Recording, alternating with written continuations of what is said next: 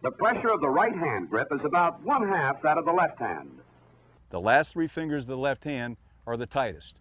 The middle two fingers are on there a little bit less tight. These two fingers are not tight at all.